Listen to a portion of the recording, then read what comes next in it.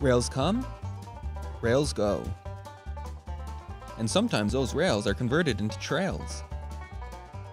These trails get utilized for all types of recreation and relaxation, allowing users to get out, exercise, have some fun, and maybe even learn a bit of history while they're at it.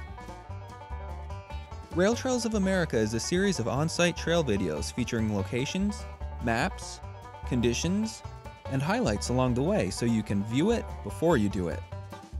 With over 1,600 trails across the nation, you won't need to look far to find one near you. Oh look, a trail. 100 feet or 100 miles, it doesn't matter how far you go, just that you get out and go.